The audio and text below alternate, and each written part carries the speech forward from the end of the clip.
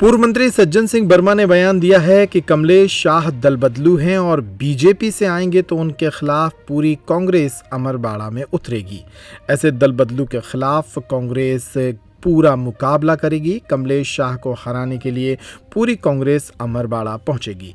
गौरतलब है कि अमरबाड़ा में उपचुनाव की तैयारी हो रही है और ऐसे में कमलेश शाह के खिलाफ कांग्रेस ने मोर्चा संभाल लिया है। सुनिए इस मामले में कांग्रेस नेता सज्जन सिंह वर्मा ने क्या कहा। अमरबाड़ा के साथ साथ और भी चुनाव होना है।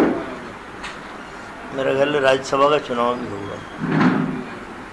देखिए, कांग्रेस तो कमर कस के खड़ी हुई है, कोई दिक्कत नहीं। मध्य प्रदेश विधानसभा के चुनाव के परिणाम और मध्य प्रदेश में हुए लोकसभा चुनाव के परिणाम से ये मैं ज़रूर मानता हूँ कि हमारा वर्कर थोड़ा डिमोरलाइज है।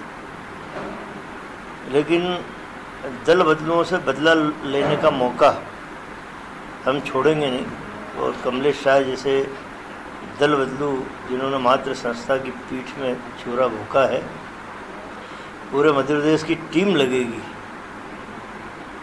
इस आदमी की वास्तविकता आम जनता के बीच में बताने के लिए।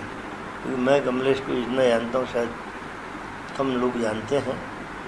और निश्चित रूप से ये चुनाव हम जीत के आएँगे। ये उपचुनाव हम जीतेंगे।